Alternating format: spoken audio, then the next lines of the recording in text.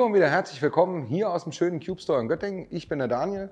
Der André unterstützt mich heute wieder tatkräftig und Hallo. hat die beschwerliche Reise aus Hildesheim auf sich genommen, um wieder ein hervorragend schickes Rädchen aus dem Portfolio der Marke Cube vorzustellen. André, erzähl mal ein bisschen was über das Fahrrädchen. 2023er Modell ist klar. Im Action Team kennt, glaube ich, auch jeder, der mit Cube irgendwie schon mal in Kontakt geraten ist. Gibt es ja schon eine längere Zeit. Genau, gibt es schon eine längere Zeit. Ist eigentlich auch so ein bisschen das populärste Modell, sage ich mal, vom Namen her. Mhm. Ähm, ist allerdings nicht äh, die Fahr Ende der Fahnenstange, rein technisch gesehen, denn ähm, Ende ist dann immer das, die SLT-Variante. Mhm.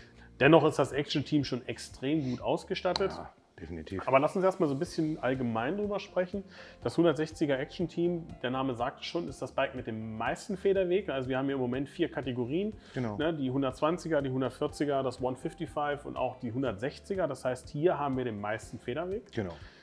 Dadurch aber immer die Kombination 27,5 Zoll Laufräder. Das heißt, auch wenn wir ähm, bei den kleinen Rahmen, zum Beispiel S, haben wir keinen Size-Split drin, weil alle Bikes von S bis, Bis XL, XL alle gleiche 27,5 Radgröße. Zoll Laufräder Genau. fahren.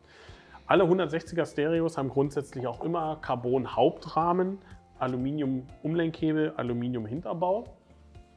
Und ähm, was sicherlich bei dem Bike schon auffällt, ist natürlich Kashima-Beschichtung. ja. Genau, Das genau. gibt es tatsächlich erst ab dem Action-Team. Aber Damir, lass uns doch vielleicht mal so ein bisschen über die Technik sprechen. Genau. Ja, vielen Dank, André. Ähm, wie gesagt, auf jeden Fall schön, dass du wieder hier bist. Ähm, Würde ich sagen, fangen wir, wie äh, ihr das von mir schon kennt, wieder schön oben im Cockpit an. Wir fangen erstmal mit den technischen Details an. Die Drive Unit lassen wir erstmal ein bisschen Genau, da können wir gleich drüber sprechen. Genau. Sind hier wieder äh, im Newman-Bereich ausgestattet. Was den Lenker angeht, haben wir einen 78er Rise Bar drauf. Ähm, Steuersatz und Vorbau sind hier von Acros. Finde ich ganz cool. Ist der 1 Fünftel Zoll Vorbau. Äh, das bedeutet, alle Zugführungen, alle Elektrikleitungen gehen vorne in den Steuersatz rein und kommen wirklich erst da wieder raus, wo sie gebraucht sind. Sprich, hinten bei der Bremsanlage. Innen verlegt natürlich zur Dropper-Post und die ganzen Elektroverbindungen, die an den Motor gehen. Heißt halt auch, dass wir hier vorne komplett clean sind. ne? Genau, Wir haben genau. weder rechts noch links Genau, genau. Kabeleinzüge. Also wirklich das einzigste Zugführung, oder sagen wir mal, äh, Kabel, was du siehst, ist halt hier die Bremsanlage. Bremse, Die geht natürlich logischerweise nicht durch den Rahmen zu legen, ähm, einfach wegen dem Federgabelsystem. Genau. Ausgestattet sind wir hier äh, im Shimano Deore XT-Bereich. Wir haben die BRMT äh, 8120 Bremsanlage drauf. Wieder schön die One-Finger-Bremshebel von Shimano mit der Griffweiteneinstellung. Schöne Haptik hier mit ein paar Pins drauf, dass wir ähm, die Bremse auch wirklich gut unter Kontrolle haben. Ähm, die führt runter zu der Vierkolben-Bremsanlage.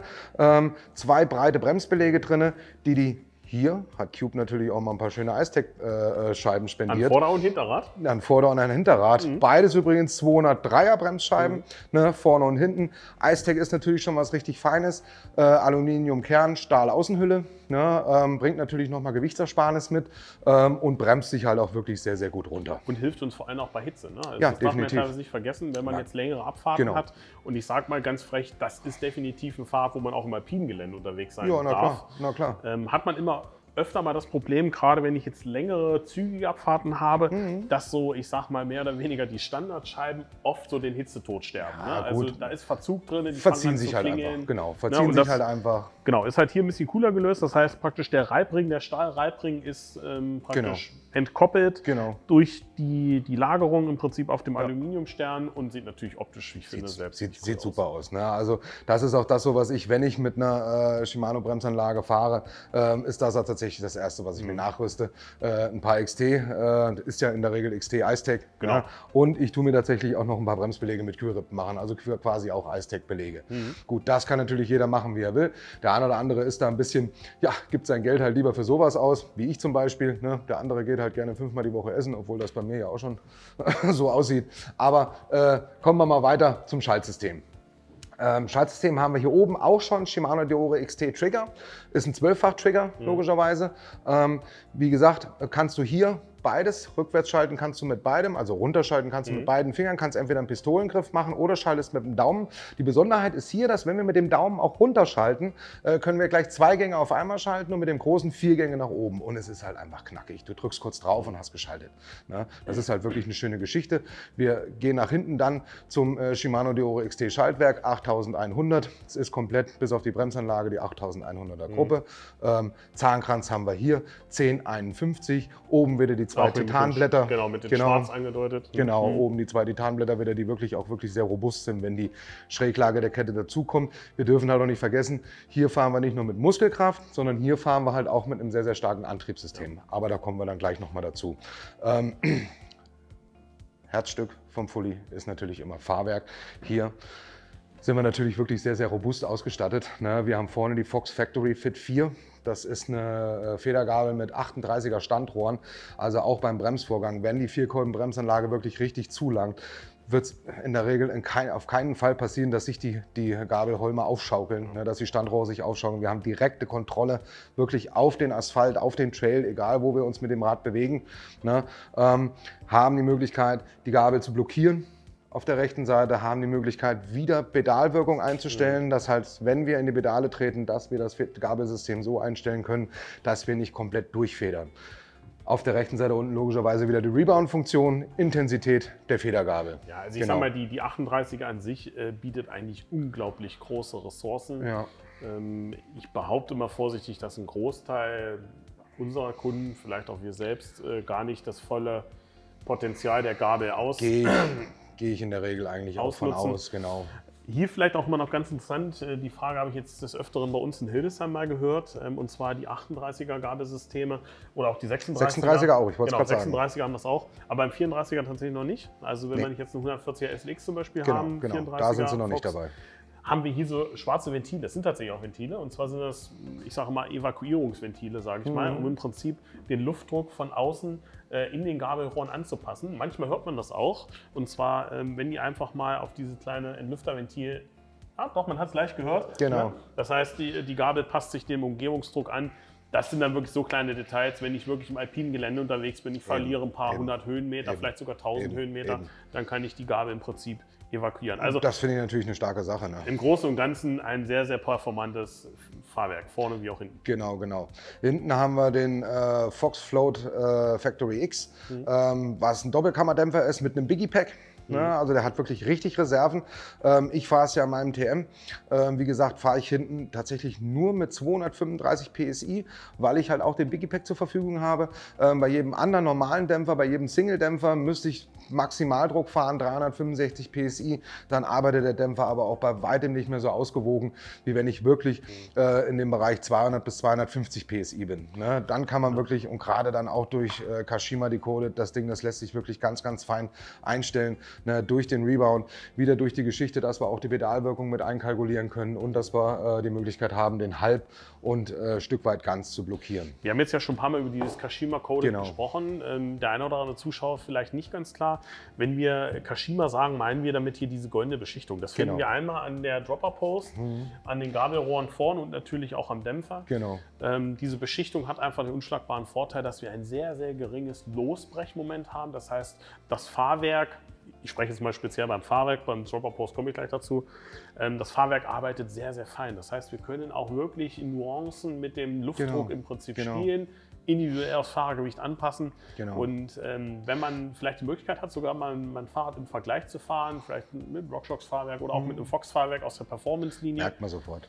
Ähm, merkt man auf jeden Fall sofort. Ja, was wir halt auch sehr wichtig finden, was bei uns in den Stores halt auch gemacht wird, was ich halt bei vielen, vielen anderen Stores oft sehe, dass das einfach nicht stattfindet, ist, dass man mit dem Kunden, wenn er schon ein Rad in dem Preissegment sich bei uns anschafft, dass wir uns einfach die Zeit nehmen und ein vernünftiges Setup einstellen. Setup geht für mich bei der Sattelhöhe los, dann stellen wir den Druck der Reifen ein, dann stellen wir den Luftdruck der, der Dämpfer ein, dann stellen wir den Rebound ein. Das machen wir alles mit dem Kunden zusammen. Da wird nicht einfach nur nach Körpergewicht die Luft aufgepumpt, sondern das Setup muss vernünftig eingestellt werden und dann hat der Kunde auch wirklich Spaß mit dem Fahrrad. Dann wird das Fahrrad dann auch wirklich artgerecht gehalten und es macht auch wirklich das, was es soll. Es geht über verblockte Trails und Baumwurzelpfade und das Rad bleibt wirklich komplett ruhig. Und das ist der Sinn von einem vollgefederten Fahrrad. Genau. Und es macht halt immer wenig Sinn, wenn ich einen Haufen Geld für ein Fahrrad ausgebe mit einem mega geilen Fahrwerk und ich stelle das Setup nicht ein. Das sollte wirklich, die Zeit sollte sich genommen werden. Die Zeit nehmen wir uns in all unseren Stores, ähm, weil das ist auch einfach Nachbetreuung. Fahrräder verkaufen kann jeder.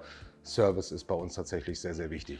Ja, ich sag mal, letztendlich ist es ja auch immer ein bisschen individuell. Also Ja. wir merken es ja auch oft, ähm, wir fragen die Leute ja auch, was habt ihr jetzt konkret mit dem Fahrrad vor? Ja. Ist das eher so der Begleiter zur Eisdiele oder habt ihr damit wirklich vor, vielleicht auch der schönen Österreich in den Urlaub?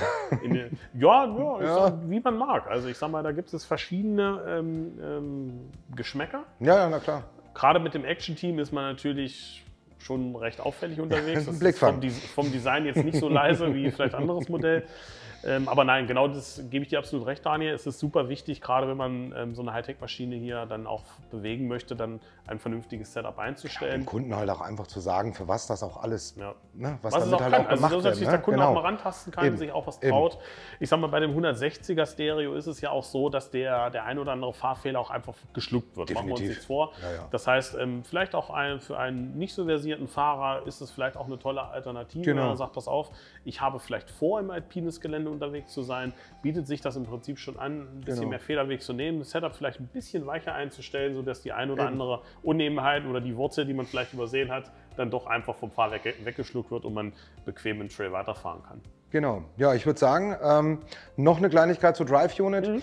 Die ist tatsächlich, sollte in der Regel mittlerweile den meisten bekannt sein. Hier arbeiten wir mit dem Performance Line CX.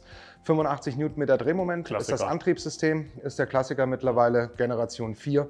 Ähm, hat hier schön Bodenfreiheit. Ne? Bei den 140ern, 160ern hat er mehr Bodenfreiheit, bei den 120ern, die mehr als Allroad ausgestattet sind, geht er ein bisschen spitz auslaufend nach Genau. unten. Sieht man auch an Genau. der Motorposition, vielleicht Genau. ganz interessant zu sehen. Das heißt, ähm, die, die sich im, im Store bei uns vielleicht ein bisschen genauer umschauen, man sieht tatsächlich schon an der Motorposition, hier liegt der Motor eher flach drin, Genau. im, im 120er steht er ein bisschen steiler. Genau. Also das kann man auch schon rein optisch dann erkennen, welche Federweg. Haben wir in dem einen oder anderen Video auch schon mal gezeigt. Ich meine, ja, zu 120er, glaube ich, haben wir schon einige Da Videos gemacht. einige und Man gemacht, kann es genau. erkennen, ansonsten Ja. seht ihr es später auch im Detail. Durch, die Modular, durch das Modular Battery System ähm, haben wir die Möglichkeit, äh, bei den Rahmengrößen S bis XL den 750 Watt Akku zu verbauen. Zack. Letztes Jahr war es bei den ein oder anderen Modellen halt noch nicht möglich, im S-Bereich den 750 Watt Akku zu verbauen. Aber da Cube halt alles smart im MTB-System Genau. macht, mussten sie sich halt was einfallen lassen, damit der große Akku verbaut werden kann. Und das ist das Modular Battery System. Das finde ich halt total abgefahren, dass wirklich die maximale Akkupower wirklich in jeder Rahmengröße gefahren werden kann.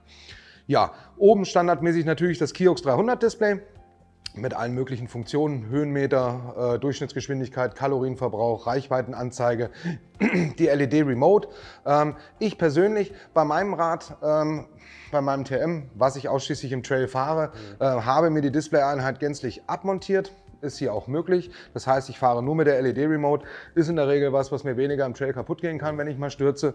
Ne? Deswegen habe ich mich halt dafür entschieden, das wegzumachen, weil wir uns mit der E-Bike Flow App sowieso mit dem Fahrrad verbinden und ähm, sowieso alle Tourdaten auf dem Fahrrad, auf, äh, auf dem Handy angezeigt werden. Ich sag mal, das ist eigentlich so ein bisschen das, was, was Bosch hervorhebt, finde ich zumindest, diese Individu- Flexibilität. genau, Na, das Individualität. heißt, wir haben Genau. ähm, die LED-Remote grundsätzlich immer auf der linken Seite und der Fahrer oder der, der, der Eigentümer kann im Prinzip entscheiden, möchte ich kein Display fahren, wie du zum Beispiel, Ja. möchte ich ein Kiox-System fahren, möchte ich statt dem Kiox-Display vielleicht, also Display abnehmen, den Smartphone-Grip fahren, das heißt, Genau. wir nutzen das Smartphone als Tacho oder nehmen wir vielleicht sogar nur den Intuvia 100 als, als kabellose ähm, Per Plug and Play, Genau, ne, total also das, easy vom Cube genau, äh, reicht von Bosch auf die Prinzip. Reihe gestellt. reicht für die meisten Ja. im Prinzip völlig aus. Definitiv. Ähm, dort haben wir auch alle wichtigen Informationen.